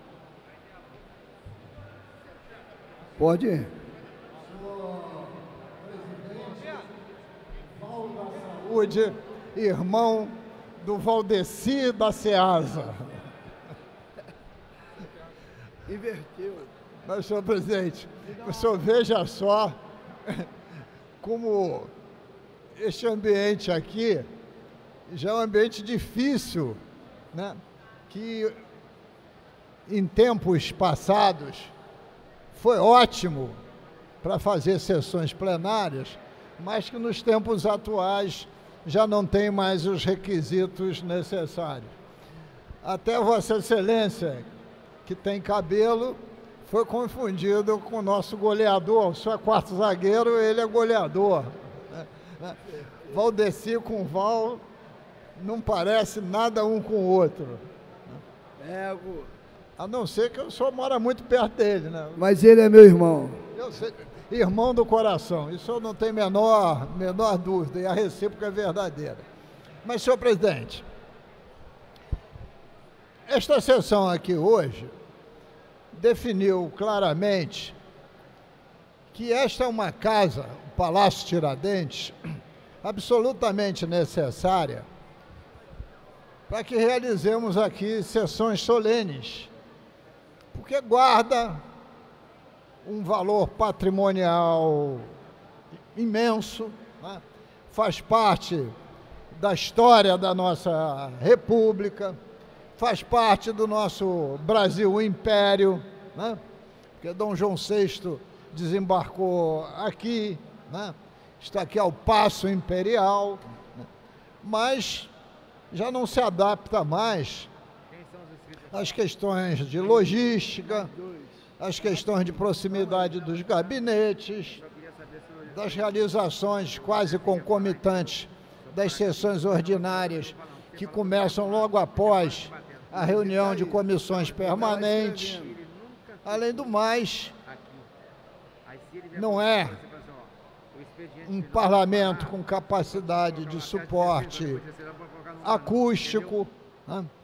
Por isso, foi uma sessão bonita, sob o ponto de vista da intensidade e do valor das suas pautas no dia de hoje, mas foi absolutamente confusa, exatamente pelos esses múltiplos ruídos que nós temos aqui. Mas resolvida essa questão, eu, no expediente inicial, eu mostrava aqui toda a minha apreensão e também a minha dedicação à pauta orçamentária e a realização das receitas e que as despesas sejam concomitantemente proporcionais a essas receitas. E o que representa hoje para o estado do Rio de Janeiro o garrote vil dos juros incluídos no pagamento da dívida do Estado com a União. IPCA mais 4% ao ano. E dizia isso, senhor presidente, porque hoje a gente verifica claramente que a previdência do Estado somado com os gastos da segurança pública, da educação e da saúde, representam dois terços das nossas despesas. Somente esses quatro itens chegam na ordem dos 66 bilhões de reais em 2023. Previdência, segurança, educação e saúde. O ICMS líquido do Estado, descontado os 25% dos municípios e os recursos que têm que ser transferidos pelo Fundeb, o recurso do ICMS fica na ordem de uns 26 bilhões. Praticamente um terço dos gastos dessas quatro áreas. Depois a nossa grande receita é uma receita que tem um tempo de vida, que é royalties participações especiais. E que tem uma imprevisibilidade muito grande, que vai sempre depender da produção da Petrobras, principalmente, da cotação do dólar e do preço do barril de petróleo, que tem tido, tem estado em níveis altos, função das duas guerras que da invasão da Ucrânia, que já, tá, já entrou no segundo ano, e recentemente a questão de, de Israel com o povo palestino na faixa de Gaza. Então, é, a gente tem que chamar a atenção sobre isso, porque me parece que esse ano de 24, a maior preocupação de grande parcela dos políticos brasileiros, não só do estado do Rio de Janeiro, será as eleições municipais para prefeito e vereadores. E aí podem acordar no dia seguinte das eleições e ver que seus municípios e o próprio Estado estão em grande, mas em grande dificuldade. Por isso, senhor presidente, eu vou insistir em chamar a atenção sobre essa questão, porque no meu entendimento ela é vital. E se eu, ao longo dos meus anos de mandato, sempre defendi a pauta social-democrata, isto é, serviços públicos de segurança para a população, o concurso público para o funcionário qualificado poder exercer as suas funções de implementar políticas públicas de qualidade, nós precisamos de, de receitas não tem saída. Dinheiro não cai do céu. E as receitas vêm através dos impostos. E o que existe nesse país é um rompimento do pacto federativo. Os impostos não são distribuídos de forma equilibrada entre a União, estados e municípios. Tudo, deputado Tiago, tudo que a União arrecada no estado do Rio de Janeiro, incluindo imposto de renda, royalties, participação especial, tudo que ela arrecada só retorna para o estado do Rio de Janeiro algo como 8 pontos percentuais. 92 vai para o Tesouro da União. E esta regra não é diferente para outras unidades federativas. O Rio de Janeiro tem uma pequena diferença, porque tudo que é de ROI de participação especial, Vossa Excelência conhece esse tema, sabe que 50% é da União. Então, sem rever a questão do Pacto Federativo, a gente tem uma política de pires na mão, de prefeitos e governadores a pedir dinheiro ao presidente da República, seja de que partido for e parece que o presidente da República fica fazendo grandes caridades em ajudar, para depois ter os retornos políticos devidos. Isso não é sinônimo de república federativa. Na verdade, a gente tem uma Constituição que afirma que nós somos a República Federativa e nós vivemos sob a égide de uma república unitária. E nós não podemos nos conformar com isso. Daí a necessidade da gente somar forças, se mobilizar, para que nos dois primeiros meses que nós estamos vivendo, que vai entrar agora, março e abril, tenhamos uma nova mensagem no Congresso Nacional que reveja em profundidade o regime de recuperação fiscal e que o serviço da dívida possa ter, única e exclusivamente, ser reajustada pelo IPCA sem juros nenhum.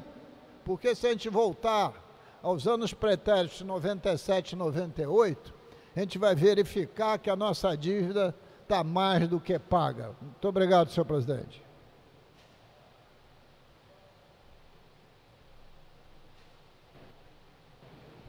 Próximo orador inscrito é o novo deputado Tiago Rangel.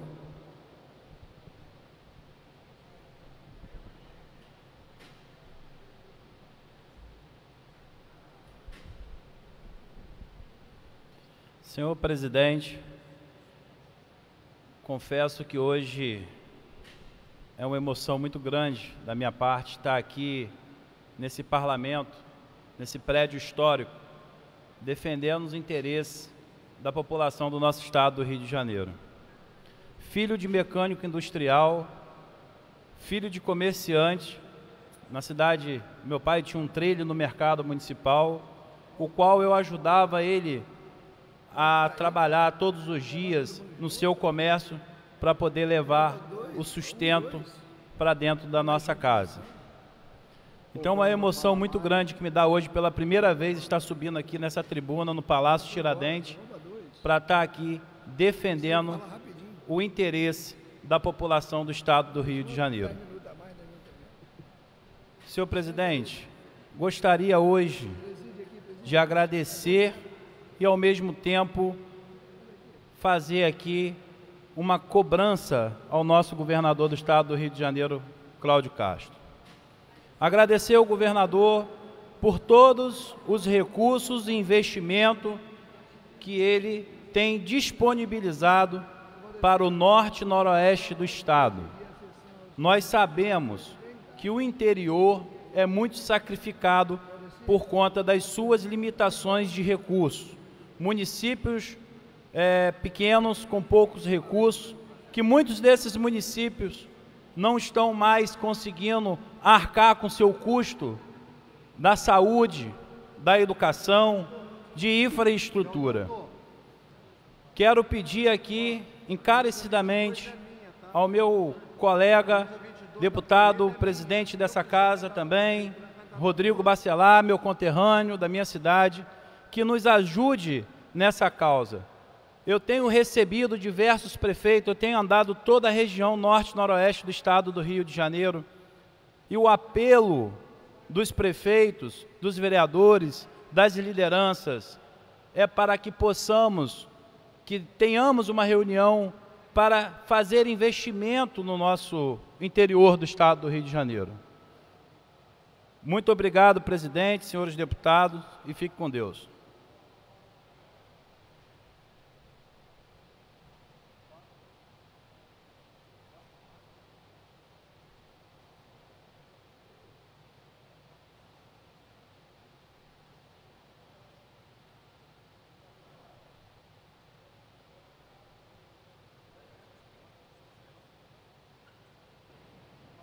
Próximo orador inscrito é o nobre deputado Flávio Sarafim, que dispõe de 10 minutos.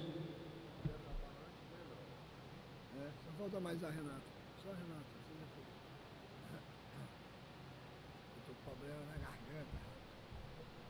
Pouquinho, tomando remédio. Eu só dou um ar em cima do meu ar-condicionado em cima de mim. Senhor presidente, deputados, deputadas, é, hoje eu subo a tribuna para, na verdade, partilhar minha alegria, minha felicidade com uma vitória importante dos caiçaras da Costa Verde no estado do Rio de Janeiro. Desde a década de 80, um condomínio chamado Condomínio Laranjeiras se instalou ali na região de Paraty, um condomínio de super ricos que impediu que centenas de caiçaras continuassem acessando seu território de forma livre. Ou esses caiçaras tinham que dar volta, ou esses caiçaras tinham que se submeter ao constrangimento dos seguranças desses super ricos, ou tinham que usar barco para acessar a Praia do Sono e outras praias da região. Ontem saiu uma decisão judicial vedando ao condomínio Laranjeiras a possibilidade de continuar constrangendo e impedindo o acesso dos caiçaras às suas praias. Eu tenho acompanhado a luta dos caiçaras lá na Costa Verde há muito tempo. Temos diversos parceiros, como o companheiro David Trindade, como o companheiro Jadson, da Praia do Sono, que é um dos porta-vozes de uma luta que é coletiva, que envolve diversos caiçaras mobilizados, diversas famílias, que envolveu o Fórum de Comunidades Tradicionais e que hoje chega a uma vitória fundamental. É uma vitória da Praia do Sono, é uma vitória de outras praias, mas é uma vitória de todas as comunidades tradicionais do estado do Rio de Janeiro. Porque a gente pavimenta o caminho para consolidar de que essas comunidades tradicionais têm direito ao território, que essas comunidades tradicionais que têm contribuído ao longo de décadas, ao longo de séculos, com a preservação ambiental, merecem continuar com o seu direito ao território. Eles que protegeram o meio ambiente durante tanto tempo, muitas vezes têm, ironicamente, cinicamente, sido expulsos dos seus territórios em nome de uma suposta defesa ambiental. Em outros momentos, como nesse, o pseudo-desenvolvimento, que é, na verdade, uma lógica de privatização do nosso território, uma lógica de elitização do nosso litoral se dá através da tentativa de asfixiar o seu modo de vida e às vezes até de os expulsar dos territórios. Então, viva a Praia do Sono, viva as comunidades tradicionais de Paraty e de toda a Costa Verde. Viva quem luta e resiste pelo direito ao território. Vamos seguir com os caiçaras trabalhando para que eles tenham seu direito ao território reconhecido e a sua importância na defesa do meio ambiente.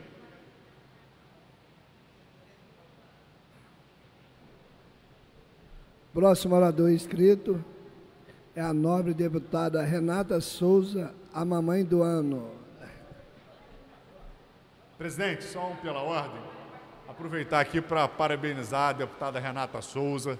A gente recebeu essa notícia super alegre, super importante que ela está grávida e que essa gravidez seja sinônimo de saúde, de alegria, de felicidade e que a gente vai estar aqui partilhando com ela desse momento de felicidade. Valeu. Muito obrigada, nosso presidente Valdo Ceasa, pelas felicitações. Obrigada, meu companheiro de partido e de luta, de militância desde sempre Flávio Serafini. Eu não tenho dúvida de que gestar uma nova vida também nos traz mais otimismo, mais esperança para continuar fazendo a luta que fazemos dentro do parlamento e fora do parlamento.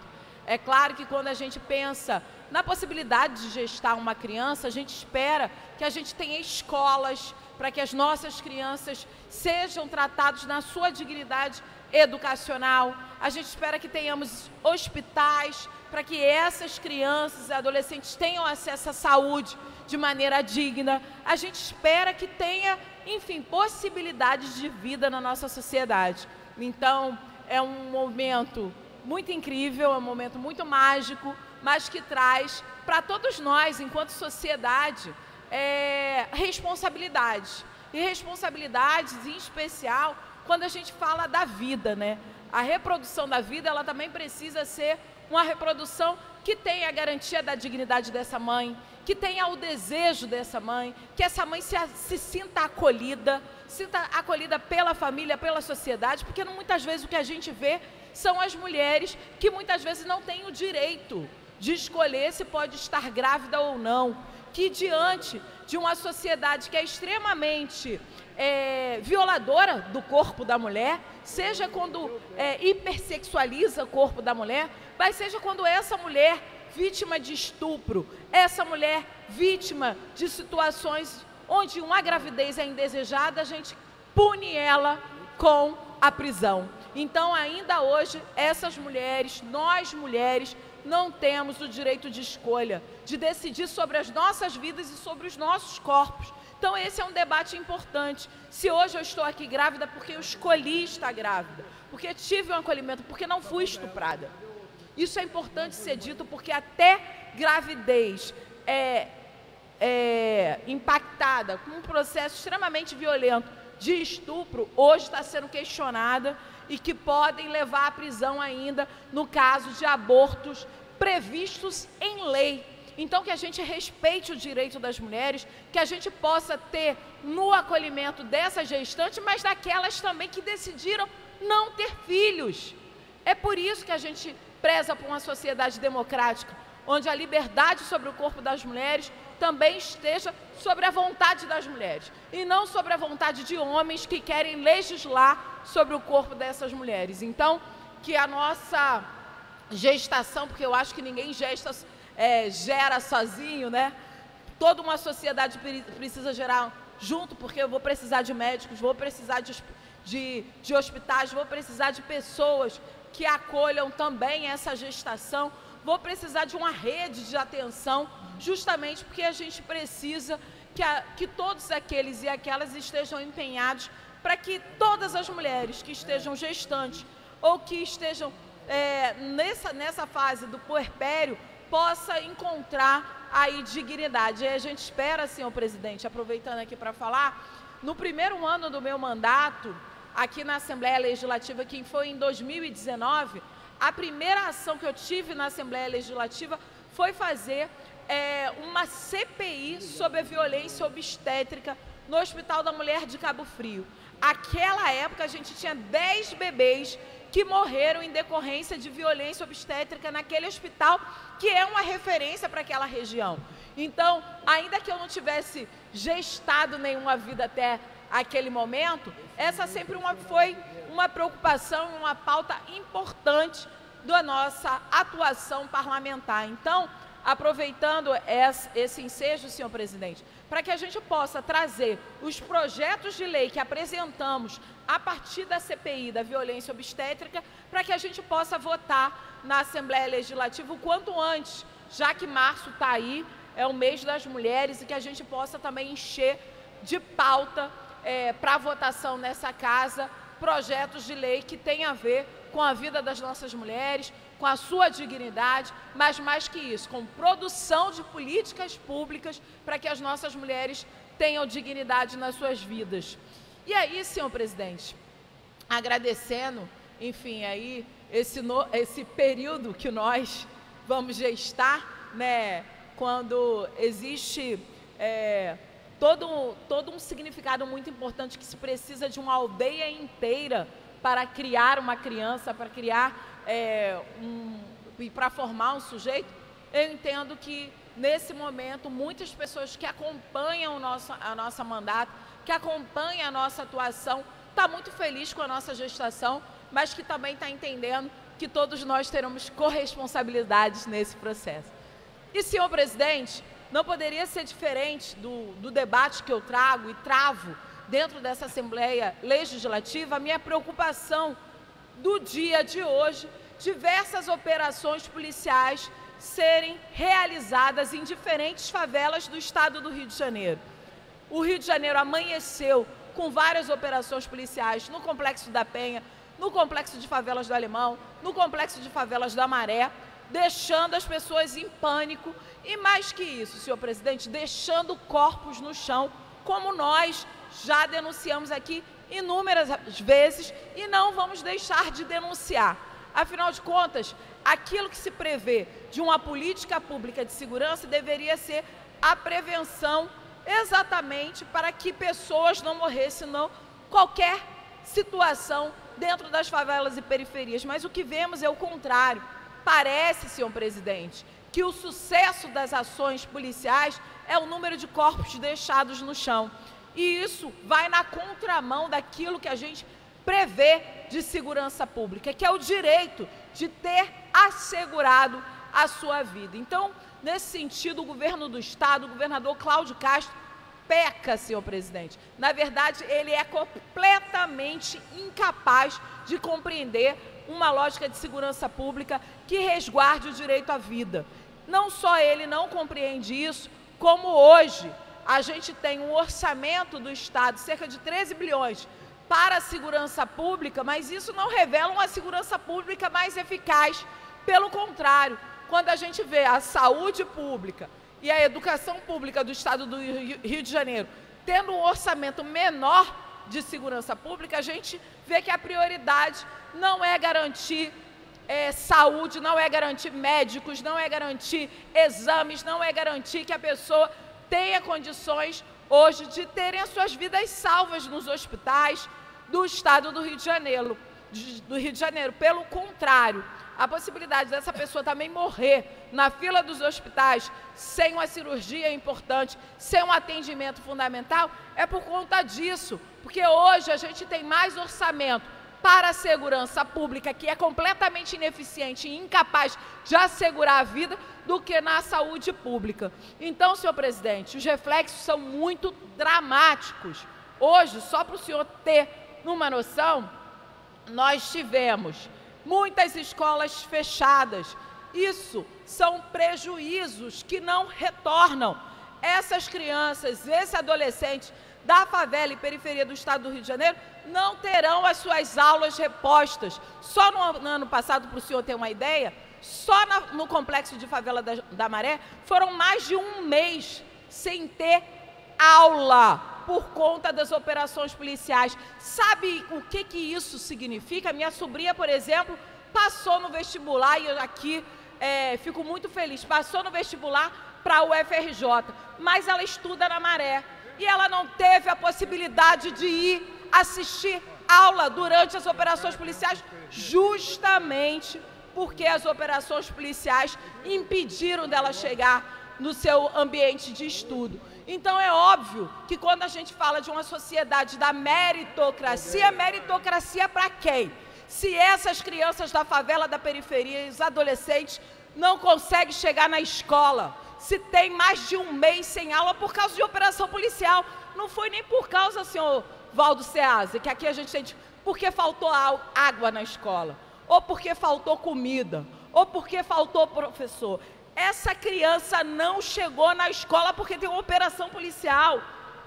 Então, a gente vê a falência de um Estado que não reconhece a possibilidade de crianças e adolescentes que vivem nas favelas hoje do Rio de Janeiro, e é um terço da população do Rio de Janeiro, não ser reconhecida na sua dignidade humana. Então, senhor presidente, hoje, só no Complexo da Maré, 24 escolas municipais ficaram sem funcionar, fora as clínicas da família que não funcionaram. Quem mora na favela sabe o tempo que leva para marcar uma consulta. E dessa consulta, o tempo que leva para conseguir é, dar continuidade ao seu tratamento. Então, se hoje uma pessoa perdeu a sua consulta, para ela remarcar, para ter um novo atendimento, leva pelo menos, pelo menos, na melhor das hipóteses, três meses. Essa é a realidade de quem vive na favela. Ou quem vive na favela não tem o direito de chegar e ter um atendimento médico. É isso que o governador do estado está falando para as pessoas que votaram nele para que ele se reelegesse? É exatamente isso. Isso na favela da Maré. Foram 24 escolas municipais e, de acordo com a Secretaria de Educação, são cerca de 8.140 estudantes sem aula no dia de hoje. No dia de hoje, também no Complexo do Alemão, foram 20 unidades escolares que suspenderam as suas atividades, com cerca de 7.185 alunos sem aula. E na região da Penha, senhor presidente, foram 16 escolas que foram fechadas, afetando aí cerca de 5 mil alunos. Ou seja, um direito não pode tirar, deixar qualquer outra pessoa sem a possibilidade de ter a sua vida concreta. Nós vemos muitas pessoas, senhor presidente, que não conseguem sair de casa para ir trabalhar. E tantas mulheres, e nós estamos aqui falando de mulheres, tantas mulheres que não tiveram a possibilidade de deixar seus filhos na creche. Você está pensando que patrão vai achar legalzinho que ela não foi trabalhar porque não conseguiu deixar o filho na creche? Impossível. Essa mulher vai ser mandada embora e ela não vai ter condições de sustentar seus filhos, porque dentro da favela, assim como mostra o IBGE, hoje a maioria de chefes de família são mulheres. Então é esse, é essa bola de neve que causa operações policiais cotidianas que não têm efeito prático, a não ser o genocídio, o genocídio do povo preto, do povo da favela, do povo da periferia. Eu quero operação policial, ou deveria ser, que tivesse como prioridade a inteligência, a informação, mas não é isso que o governador do estado quer. Inclusive, no orçamento do ano passado, ele tirou 99% dos recursos que deveriam servir exatamente para inteligência e prevenção. Ou seja, não se quer prevenir crimes. Na verdade, quer ir para a favela, para a periferia, dar tiros e, evidentemente, deixar a vida de milhões de pessoas sem qualquer assistência ou dignidade humana. É disso que se trata, senhor presidente. E mais uma vez, nós iremos representar no Ministério Público, no Ministério Público do Estado do Rio de Janeiro, que tem a prerrogativa constitucional de exercer o controle externo da atividade policial. Então, faremos uma nova representação, assim como apresentaríamos uma denúncia à ONU e à OEA diante de mais uma grave violação dos direitos humanos cometidas pelo governador Cláudio Castro e a sua política de insegurança pública, de instabilidade pública. É isso que representa. Eu não acredito, senhor presidente, nessa guerra às drogas, com muitas aspas. O que se dá é uma guerra aos pobres, aos pretos, aos favelados, aqueles e aquelas que é considerado como menor ou como cidadão de segunda classe pelo governador do estado. Enquanto eu estiver aqui, eu denunciarei o governador Cláudio Castro a todas as autoridades diante do genocídio que ele pratica diuturnamente dentro das favelas e periferias. Muito obrigada, senhor presidente. Próximo orador inscrito é o nobre deputado Felipe Pobel.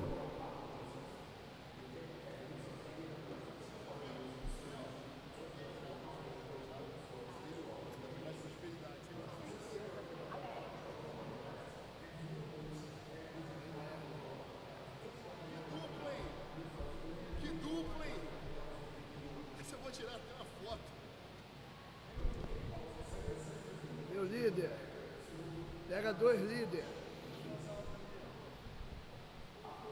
Pô, te tietando, hein? Ô, meu parceiro. Obrigado, presidente. Boa tarde, presidente. Boa tarde, nobres colegas parlamentares, público presente e quem nos assiste pela TV Alerj.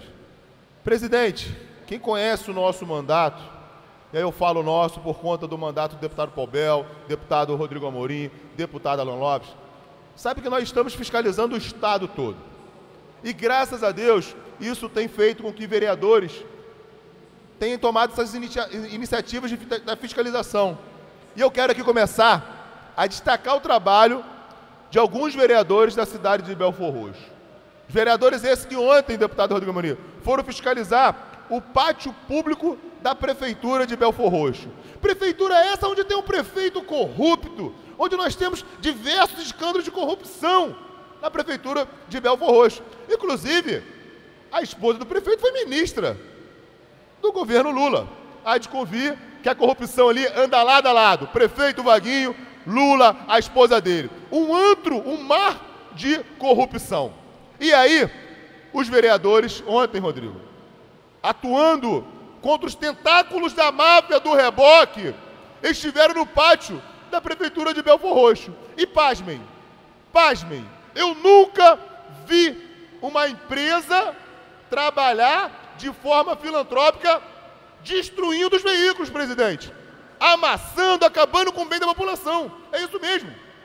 A empresa que acaba, que, que acaba com, com os carros que foram apreendidos da população de bem de Belfor Roxo, ela não tem contrato com a prefeitura.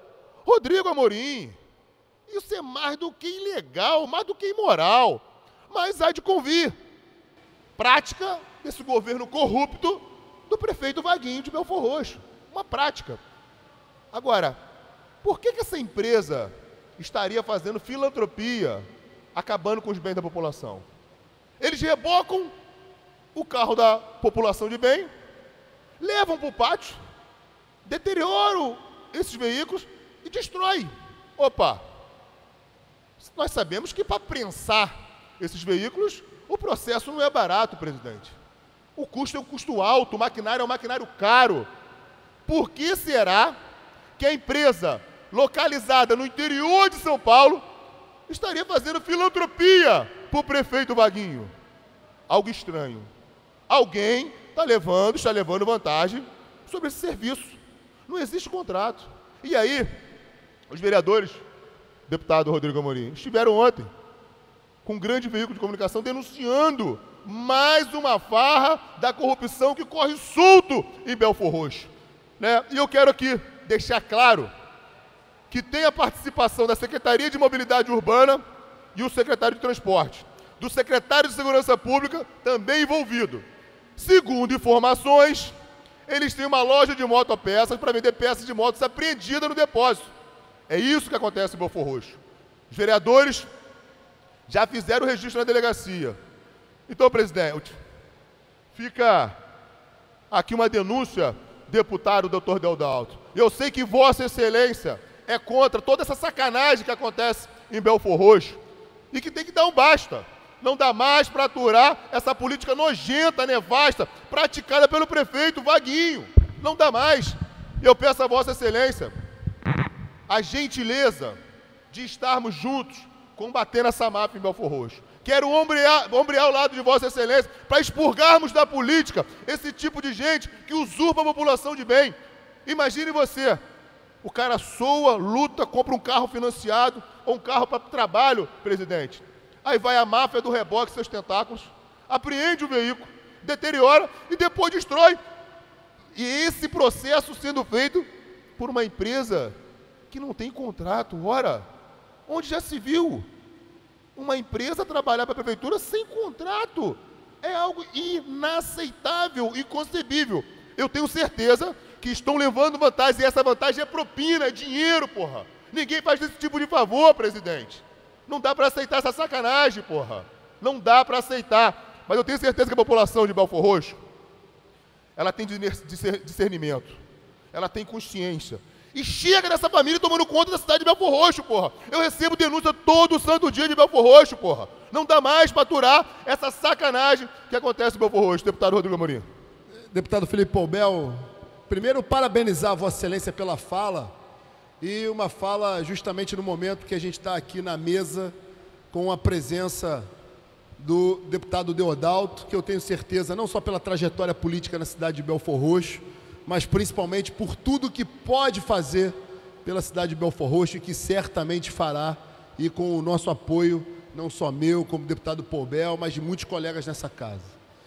Dizer que o que Vossa Excelência traz, deputado Poubel, esse verdadeiro escárnio com a população de Belfor Roxo, da Baixada Fluminense, e mais uma covardia, dentre aquelas que nós já relatamos, que nós já desbaratamos com o cidadão de bem, com aquele que paga imposto, com aquele que tem o carro para trabalhar, para levar a sua família de um lado para o outro, para levar o seu sustento, uma covardia com os mais pobres, que tem o seu bem surrupiado por um secretário que está prensando o carro, e eu tenho convicção desrespeitando os prazos estabelecidos na legislação federal, na legislação estadual, ou seja, covardia em cima de covardia nessa máfia que a gente insiste e não vai esmorecer na luta contra essa máfia do reboque e seus tentáculos.